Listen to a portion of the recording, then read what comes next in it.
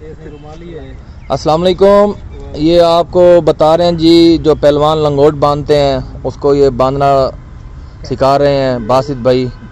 सबसे पहले ये शलवार उतारें और उसके नीचे से ना कपड़े के नीचे से अंदर से निकाल के मुँह में डालें।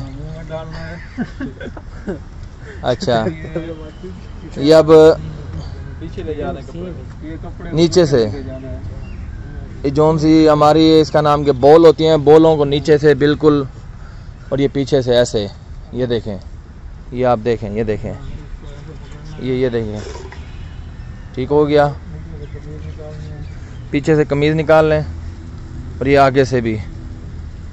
ये फ्रंट चीज़ जोन सी है, बिल्कुल उसके अंदर ना छुपा देनी है, लंगोट के अंदर।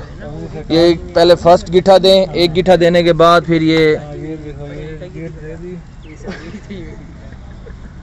ये ये उसके बाद फिर ये डेढ़ गिठा देनी है जैसे हम शलवार के नाड़े को बांधते हैं जारबन को।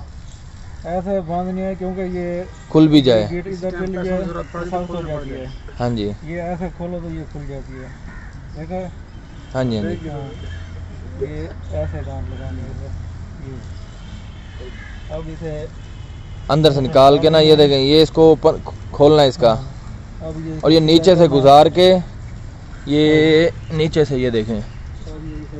इसके दे दें। बैक साइड के अंदर। अब ये ऊपर कमीज उतार दें।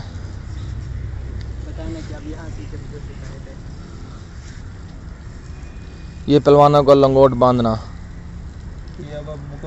मुकम्मल तौर पे लंगोट बाँध लिया जी।